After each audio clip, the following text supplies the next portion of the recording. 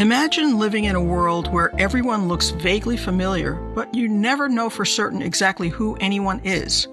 Your old classmates, your coworkers, your friends, and even your family members all can appear at first glance to be friendly strangers who seem to know you. That's what life is like for people with prosopagnosia or face blindness. Historically, the disorder was thought to be rare, but more recent research suggests it may affect as many as 1 in 50 people. Last year, Sadie Dingfelder found out she was one of them. Sadie is a former colleague of mine. She used to be an editor at APA's magazine, and I later hired her to be editor of our website. After a lifetime of thinking that there was something just a little bit different about her brain, Sadie took part in a study at Harvard Medical School that finally gave her some clarity about her condition. She wrote about the experience for the Washington Post magazine. So, what is it like to have prosopagnosia? And what have psychologists and other scientists learned about the causes of face blindness? Can it be treated? If so, how? Welcome to Speaking of Psychology, the flagship podcast of the American Psychological Association that examines the links between psychological science and everyday life. I'm Kim Mills. If you enjoy speaking of psychology, the conversation doesn't have to stop when the podcast is over. Get unlimited access to hundreds of videos about the latest in psychology for just one low price by registering for access to APA's 2020 virtual convention. Start with some of our selected videos featuring psychology's biggest names discussing such topics as COVID 19, racism, and stigma.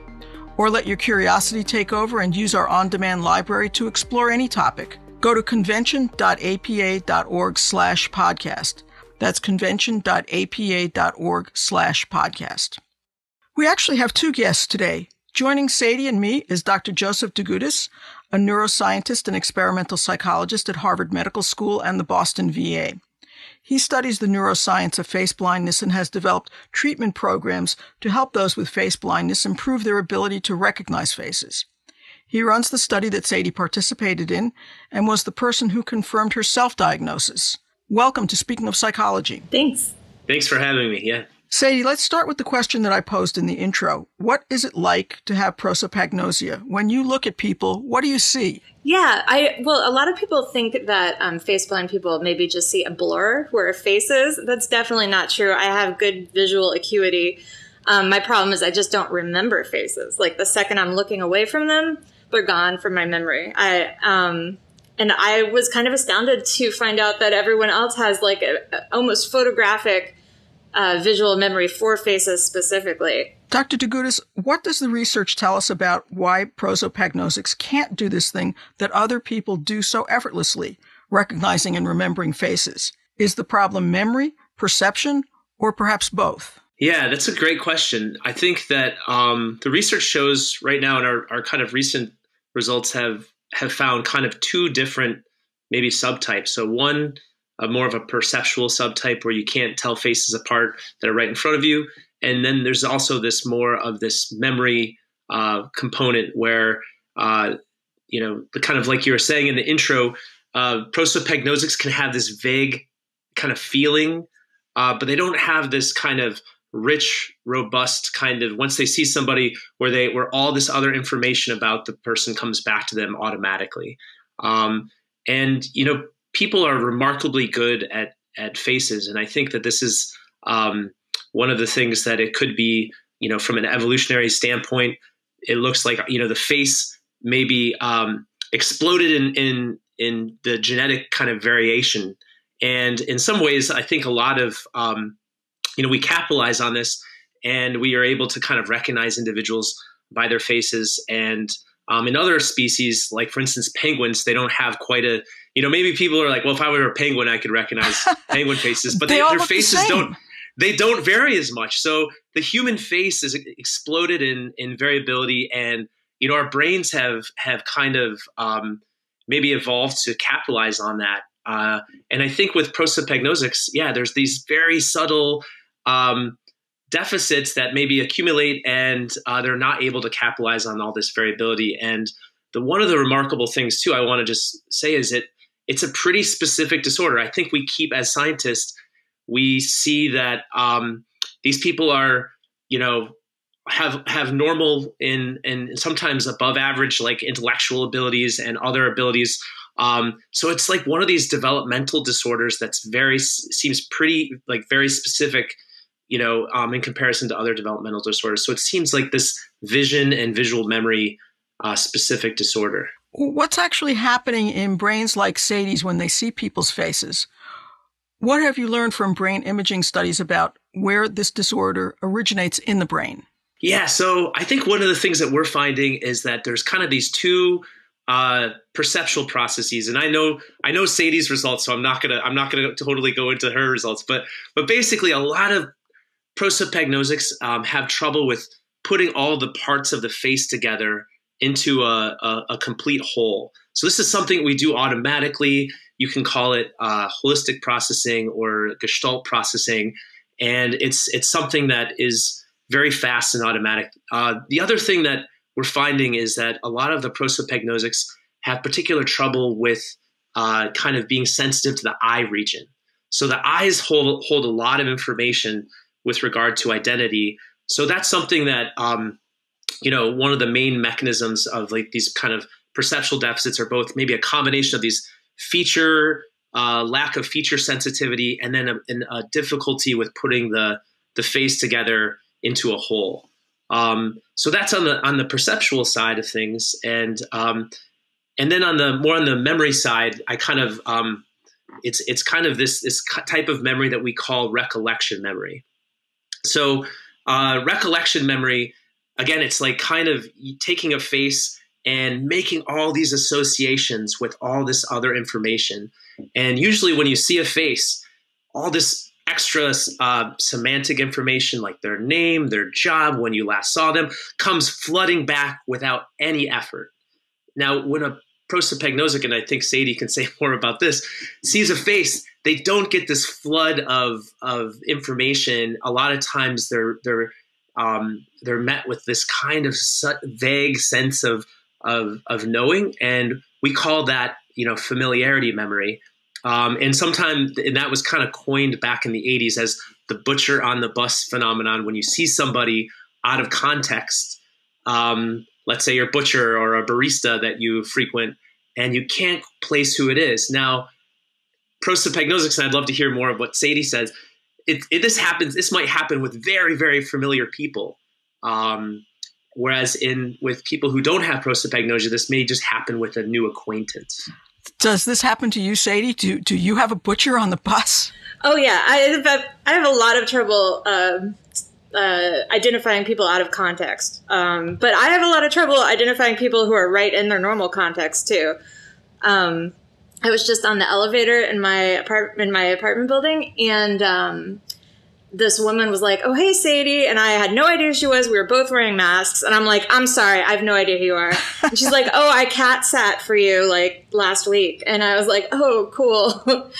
so, um, yeah, she was in my building, and I could, did not recognize her. But the masks make it really hard. That that has to be tough, not only for people like Sadie, but what happens to uh, children at various levels of development? I mean, if we're going around wearing masks for the next year or more Dr. DeGutis, is that going to have any effect on their development, do you think? You know, I don't think we know, but I mean, I think that the, um, uh, you know, the face recognition system needs to have a lot of input and a lot of different faces. And actually, they found that some people that grow up in kind of smaller towns, even you know, may not be as good at face recognition than people who grow up in larger cities that have more exposure. And there's a little bit, there's some evidence that there may be these kind of critical periods uh, for face recognition where you um, uh, you know maybe can differentiate um, all faces and this is something called, like related to the other race effect where you may be able to differentiate all faces of all different ethnicities and then after a while you're you you kind of whatever ethnicity you're most exposed to you get better at that um, so there may be these critical periods i i hope um, I think it's an interesting question if this is affecting development or if or if we can kind of rely on, you know, neuroplasticity or the ability for the brain to kind of uh, reorganize and recover. But I do think just seeing, you know, part of the face may disrupt this holistic processing and kind of putting all the face together. Um, so it could. I wonder if, um, like, all the kids are on TikTok, right? I wonder if um, exposure to faces that are flattened on a screen is like can make up for it. I, I guess we need research. I, it, it's really not fair to ask you, Dr. DeGutis, since you're not a developmental psychologist. Yeah, I mean, I, I, I think that yeah, I think people are still seeing a lot of faces on on TV and on the screen. I mean, it, it could be slightly different than interacting with people in a more kind of face to face or um, but um, but actually, a lot of some of the prosopagnosics kind of have have mentioned that faces seem flat to them, and I guess I just wanted to ask you, Sadie, is that is that something that you I, I, I, you know, I mean, it's hard to kind of have insight into this, but you know, um, do you see faces as being flat? Do you see them, as, or do you see them as being kind of three dimensional? I have nothing really to compare it to because I see everything as flat because my eyes are not aligned correctly. So I only use one at a time and do not have binocular vision, which is another thing I kind of discovered as an adult and didn't realize. Why it was very exciting to figure out like why I could never catch a fly ball. It wasn't entirely my fault.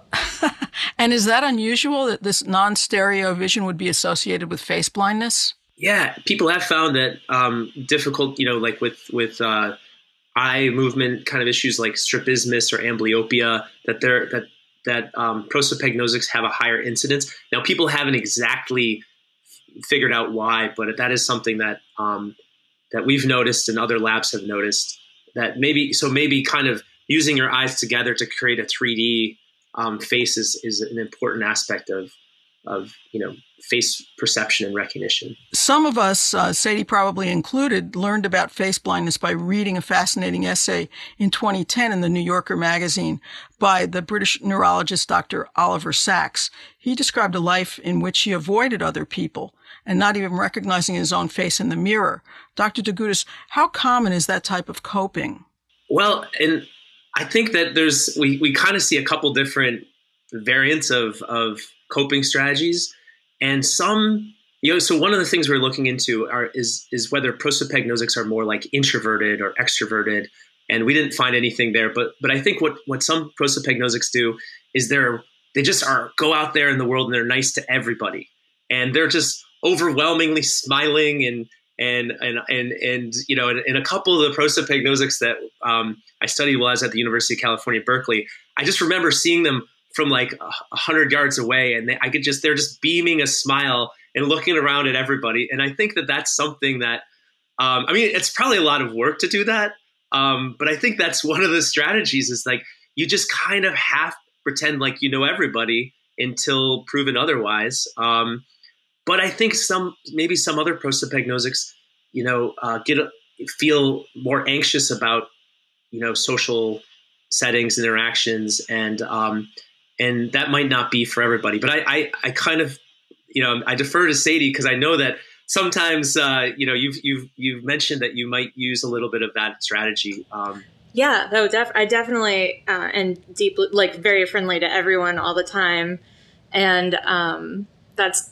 totally a coping mechanism because like anyone could end up being like a good friend. That so you don't want to miss or you know, um, you don't want to hurt someone's feelings. So you just like, anyway, this strategy at one time caused me to talk to a woman who quickly turned out to be a total stranger on the street, and I tricked her into thinking that she knew me. um, That's great. And I mean, and we talked for like five minutes, and then I'm like, okay, gotta run. And like, she looked so confused, and I kind of felt happy to like have inflicted my confusion on someone else. Um, but it wasn't very nice. But it wasn't intentional until I realized. No, Sadie, I remember a few years ago I was walking in front of the building for lunch and uh, you came up the street and I said, Hey, Sadie. And, and you stopped and you said hello, but then you said, Oh, oh, I was afraid I might run into some people from, from work if I walk past here. And, and I didn't know, and maybe you didn't even know at that time that you had face blindness, but you covered very well. yeah, well, that's the thing about developmental disabilities is that uh, you just grow up coming up with lots of clever strategies and you have no idea that they're strategies and you just assume everyone else is doing the exact same thing. So um, I really thought I was like maybe a little bad with faces, but like completely on the normal curve. And then it turns out I am really quite exceptionally bad. and proud of it.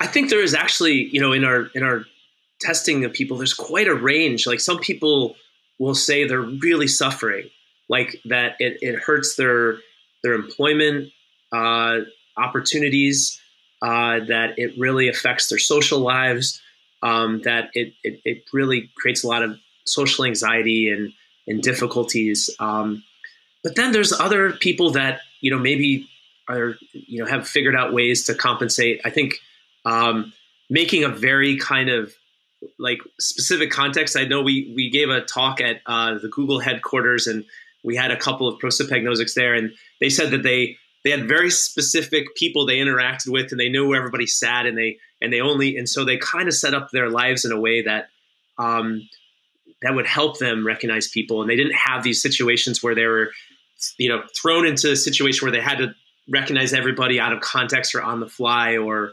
so um, but i think you know, some people, you know, this is just like an annoyance, and other people really can make a big difference in, in their in their life and in socializing. I actually kind of think that it gave me a little bit of um, a a superpower in terms of like since I've been practicing talking to strangers my entire life. Um, as a reporter, it is very easy to like connect with um, people. Um, and I think a lot of even like professional reporters get anxiety about talking to strangers, just walking up to a stranger and talking to them. And I have no problem doing that because I have been doing that my entire life. Can can we talk about treatments? I know, Sadie, you've had some treatments, and Dr. DeGutis, maybe you can explain some of what you have done and and how well these treatments work.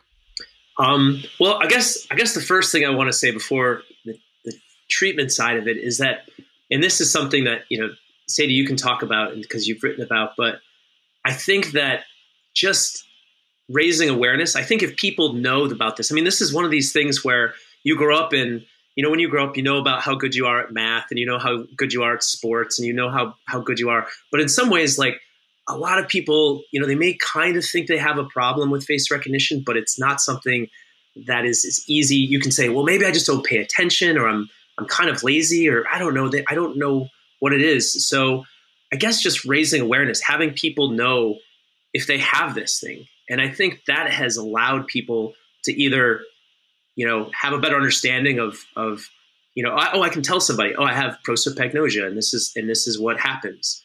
Um, so, like, you know, destigmatizing when you when you uh, miss somebody from and misrecognize somebody, or you or you walk right past them. You're like, hey, sometimes I'm going to just walk right past you and it's not because I'm aloof and I don't care. I just have prosopagnosia. So that is like a big thing to uh, raise awareness and get and get the kind of word out. And I think it really can has given people a lot of relief and insight into their lives. Um, and um, yeah, maybe if say if you want to talk about that before, and I can, but we have training programs. I'll talk. I'll, I can talk about that, but I, I just also want to Sadie to chime in about how powerful that has been. Oh yeah, like I mean, it felt like uh, a central mystery in my life was suddenly sort of cleared up. Like I used to be worried that I was very self-centered because I could never remember people's names or um, if there was something, you know, something like wrong with me at like the spiritual level or something. And it was really fun just to learn that like my fusiform face area is not working very well and um, you know it doesn't it doesn't like reflect poorly on me as a human being. Which is a part of the brain that we haven't really talked about the fusiform face area. Yes.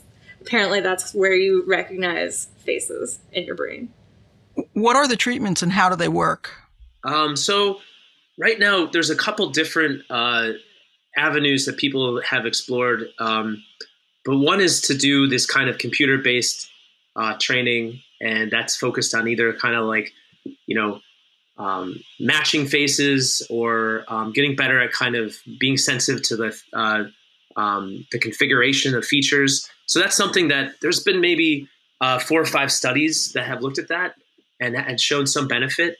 Um, we're also uh, looking into uh, some memory training that targets kind of improving recollection memory, um, which is uh, you know trying to be you know take a more effortful approach to you know taking a face and just adding all this information um, and trying to um, you know kind of actually create a narrative around the face and process the face more deeply and make more connections to things like oh do, you know how does the face make you feel? Uh, how extroverted or introverted is the face?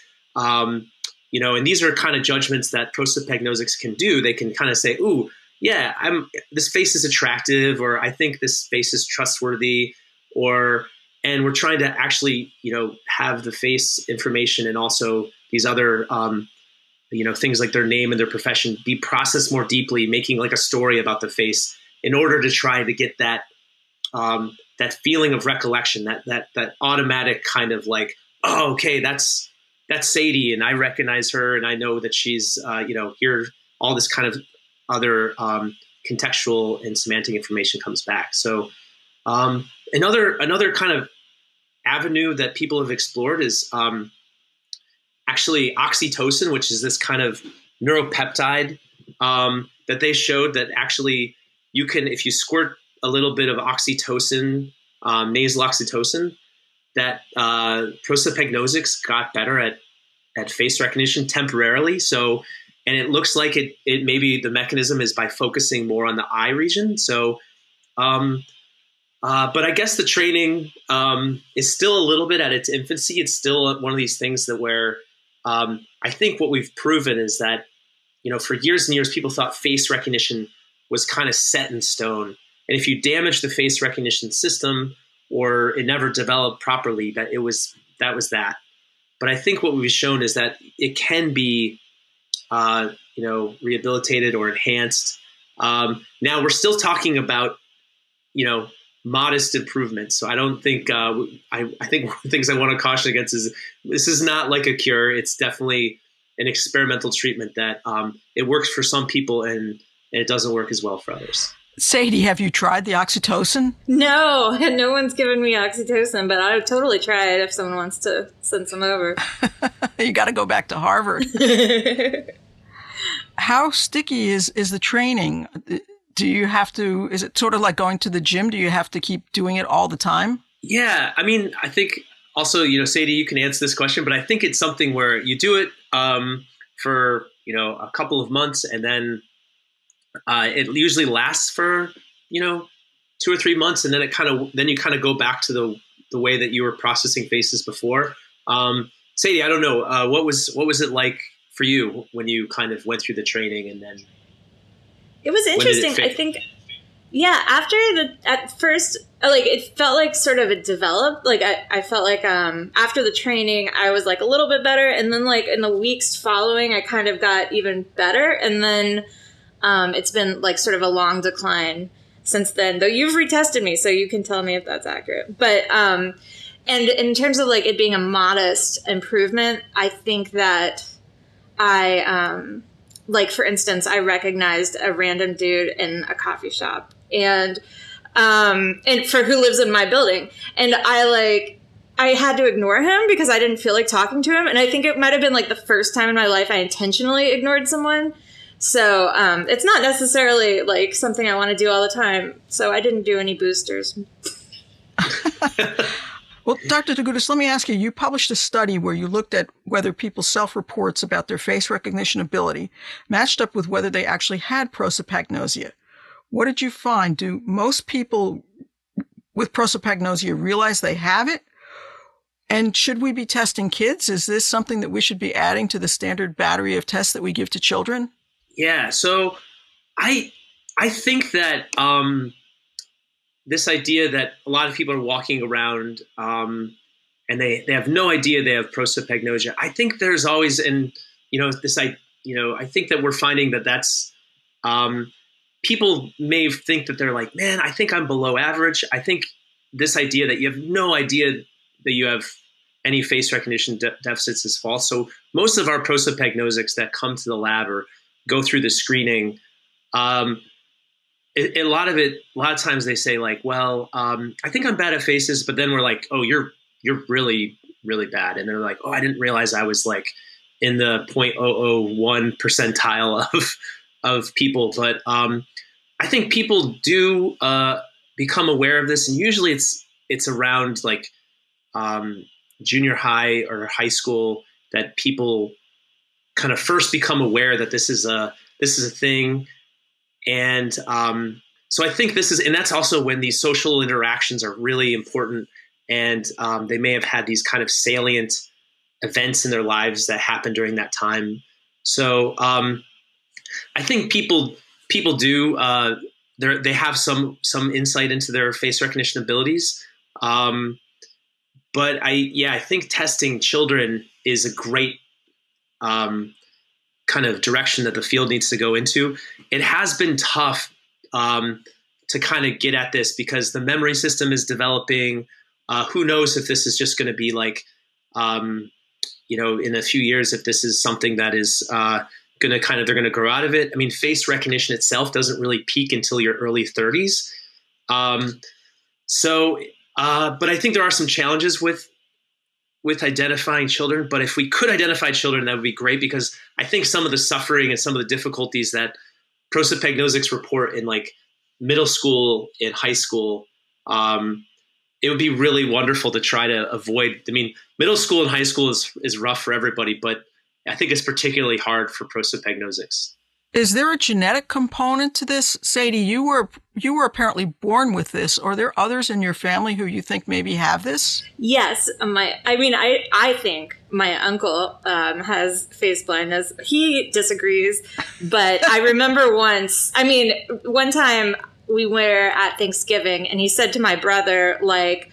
Oh, are you Sadie's roommate or something? And Saul's like, No, I'm your one nephew who you've known since I was born. And Aaron was like, oh. Anyway, um, my uncle was like, uh, oh, yeah, right. Um, so I just think, yeah. I don't know why anyone would be in denial about it. It's a pretty cool disorder to have. We're in such good company. We've got Oliver Sacks. We have, um, what's the chimpanzee researcher? Oh, Jane Goodall. Yeah, Jane right? Goodall. Yeah. Yeah, I was really surprised to read about that. I mean, there she was working with all these chimps that she had to recognize. I mean, Sadie, do you recognize your dog? you know, oh, oh, actually, you're a cat person. well, I'm also a bird watcher, right? Um, and so there's not a lot of uh, it's. I guess I don't have to recognize individual birds though very often. Um, They're all little brown birds. you know, also the craziest one is um, Chuck Close, the uh, who who draws those huge, beautiful portraits, right. and of course he's obsessed with faces because they're such a puzzle. Um, I think it's really cool that he channeled that through his art. So overall, Sadie, do you think knowing this is what you have has changed your life? You know, I, yeah, definitely. I, I wish I had known as a kid, honestly, because I had so much trouble making friends, and I just assumed it was because I was weird, which isn't incorrect. But um, if knowing the specifics would have been very helpful because I could have, you know, maybe I could have like used pictures. And I, I later in college, before I knew I was face blind, I did make flashcards for myself of everyone who lived in my dorm. Um, it didn't actually help that much though, so I don't know.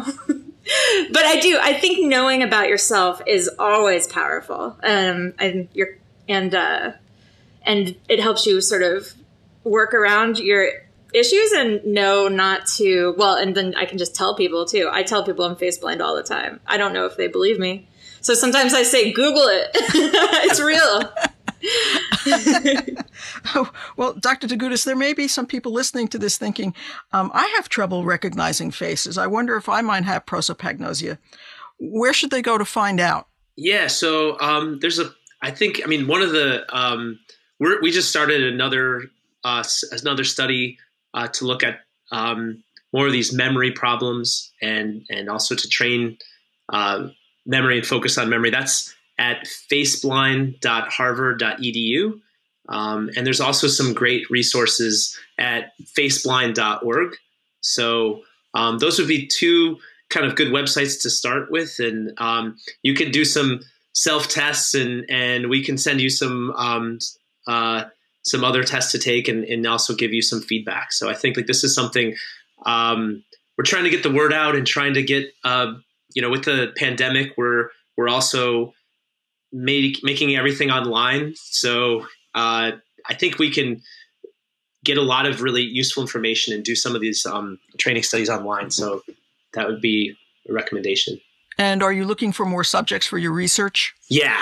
Yep. So we're looking for more uh, participants, and then also to um, you know we're we're also happy just to kind of say, oh, here's you know here's how I performed, and here's my my here's what's kind of happening in my daily life, and we can kind of give you some. I think one of the useful things that we can provide is we've tested a lot of people with with face blindness and uh, or prosopagnosia, and we can say, oh yeah, this is this is you're right in the middle. This is what everybody is kind of reports and or we can also say, oh, you know, in, in our you know history of testing a couple hundred people with face blindness, we've never heard of that. So I think that sometimes is useful to know, like even if you're a prosopagnosic, am I like a a typical prosopagnosic, or or am I kind of like you know a little quirky or different? But I think that what that's one of the things I think we've we've also found that people have enjoyed knowing like um, a little bit more about like, oh, I report all these experiences, or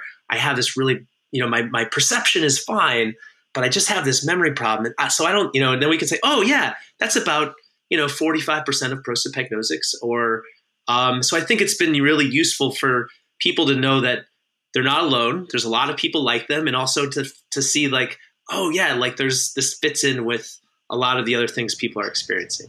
Yeah, it's so fun to get on the um, prosopagnosia uh, Facebook group because I feel like it's like a lot of people who had the same childhood as mine, and you know, someone will write like, "Does anyone else like only make friends with very distinctive looking people?" And I was like, "Oh my god, all my friends had blue hair," or you know, and it's um, I, it's fun to find out you're not alone. It's kind of it helps with the feeling of isolation, living in a world where everyone kind of looks like a stranger. Yeah, I'm just curious, how did you land on oxytocin as a treatment? So the oxytocin treatment wasn't um, our lab that that kind of spearheaded that. That was Sarah Bate um, uh, and uh, and her colleagues. But but oxytocin has kind of been thought of this as this kind of trust neuropeptide that is about um, you know facilitating social bonds and and things like that. And also has it may have a slight dark side to it too, where maybe you facilitate in group bonds but not out group bonds. So that's another uh, conversation. But I think that oxytocin has thought of um, they've looked on on some of these genes that are related to oxytocin. Um, and that's kind of there's there's some candidate um, genes that may be involved in both you know autism and prosopagnosia. So that so there's a little bit of a higher incidence of prosopagnosia, prosopagnosia in people with um, who are on the autism spectrum. So this is, you know, so I think this idea of um, that oxytocin is kind of this social neuropeptide. It may have to do with kind of um, forming social bonds or you know face processing. Um, uh, and that that's kind of why they, um, yeah. So it's also kind of this idea of like trust and and uh, maybe engagement with faces. So it's kind of trying to improve attention and engagement with faces was the idea. Given that it's uh, situated in a, a physical part of the brain, has anyone looked at a possible surgical intervention? Um, I think I think the surgical. So yeah, I guess I just to quickly kind of go over the the um, in the brain. I think the brain um, with faces is so one of the things about um, why faces are so much so studied in neuroscience is you have you know, and, and this is back in the '90s uh, by Nancy Kanwisher at MIT and others. Um, uh, you know, across um, in many different labs. They found this. There's this little region about the size of the tip of your pinky that just really responds to faces uh, more than anything other, um, any other kind of visual input. And you know, this fusiform, they call it the fusiform face area. Now they've also found that there's this one back a little further in the visual processing stream called the occipital face area. And there may be even subcomponents of the fusiform face area, but it's these kind of modular it's probably one of the only systems in the brain that is organized in a modular way, meaning like you kind of have these little nodes that do most of the work.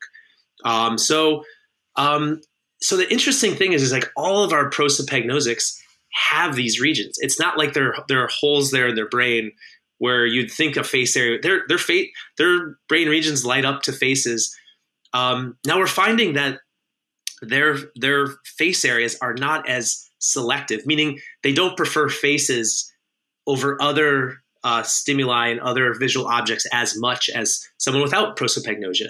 And we even find that that their face areas may be a little thicker, which means that like early in development, your your cortex is really thick, and actually, as uh, you think thinner is is um, is is worse, but sometimes uh, in the brain, thinner and more dense is kind of how it means that you're making more connections, and um, so we kind of find that some of the um, the developmental prosopagnosics have thicker face areas and not as well connected to other brain regions like your hippocampus which is involved in like memory. So in these and these anterior temporal lobes which are involved in like retrieving somebody's name and how you know them. So um so it is it's this really interesting um uh thing where the you know the the developmental prosopagnosics we've studied have all of the structures there they're just not optimized um they're not as connected they're not as working as efficiently they're not as like selective and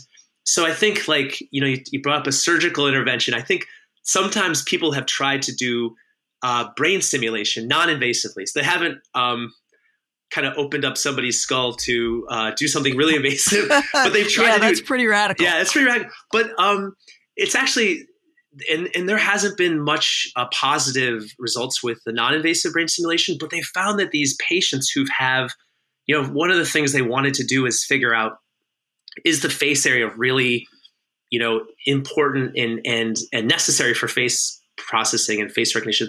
So in this person who had epilepsy they put electrodes in their face area and when they stimulated the face area they reported that as i were as they were looking at somebody's face it like transmogrified and kind of melted and changed and so this is really i mean it's fascinating and it really made everybody believe like oh this isn't just you know uh, like some kind of epiphenomenon. This little brain region is very much at the hub of what we're doing with faces and face recognition. And you know, these these epilepsy um, this epilepsy patient would report that you just changed to somebody else as soon as they they stimulated this brain area. They said, "Oh, you became somebody else." So I don't know if they're going to try that treatment for prosopagnosia anytime soon, but it's very fascinating, and it really shows how um, specialized uh, these brain regions are, and and also why this is a very kind of in terms of a developmental disorder, this is a very specialized disorder. A lot of developmental disorders like like ADHD or or even autism spectrum disorders, the, the like lots of the brain region, like many many brain regions have been implicated. With, with prosopagnosia, it's like we're dealing with these little small, specific, selective areas. And um, I think that's also from a neuroscience perspective why it's been so fascinating to to to understand. And if we can actually improve uh, face recognition, how do these little small nodes change? Are they making more connections? Are they getting thinner? Are they activating in a more selective manner? So this is one of the things that we can use this disorder to help us understand a lot more about what they call neuroplasticity, which is kind of how the brain changes with with um, experience. And um, so I'm we're as you can tell, I'm, we're pretty excited about this possibility. Uh, but again, we're still scratching the surface. This is still the beginning. You know, you don't need brain surgery. All you need is like facial recognition glasses, right? Like, if the, the technology already exists, it's being used in people's home security, you know, systems. Um, but for privacy reasons and because everyone thinks it's creepy, uh, they won't put it in glasses. Um, but it's my dream. I, I wish that like if you had a if you like could prove that you were face blind or something, you could get these. You'd have magic glasses that would tell you who everyone is, and you're. I think that'd be amazing. Okay, that leads me to the last question I want to throw to you, Sadie, which is if if you could cure this, would you do so, or are you so accustomed to living with face blindness that you couldn't imagine living any other way? Oh my god, I'd love to cure it. I mean, I would really like to see what faces look like to everyone who isn't face blind. I get the feeling that there's actually a qualitative difference. And um, and similarly, I would like to have binocular vision too. Like I would like to be able to see things in three dimensions. So I think that, I mean, I do think it's been a huge part of my sort of personality growing up, but I'm 40 or something. I'm 41, I guess. And, um, anyway, and I feel like, you know, I've cap- fully capitalized on the brain, my old brain, my brain. And, uh, you know, why not try something new now? Well, thank you for, for joining me today. It's been really interesting. I really enjoyed it. And Sadie, it was great to see you again. It's been a while. Yeah. Yeah. Thanks so much. All right. You can find previous episodes of Speaking of Psychology on our website at www.speakingofpsychology.org or wherever you get your podcasts. If you have comments or ideas for future podcasts, email us at speakingofpsychology at apa.org. That's Speaking of Psychology, all one word, at apa.org. Speaking of Psychology is produced by Lee Winerman. Our sound editor is Chris Condayan. Thank you for listening. For the American Psychological Association, I'm Kim Mills.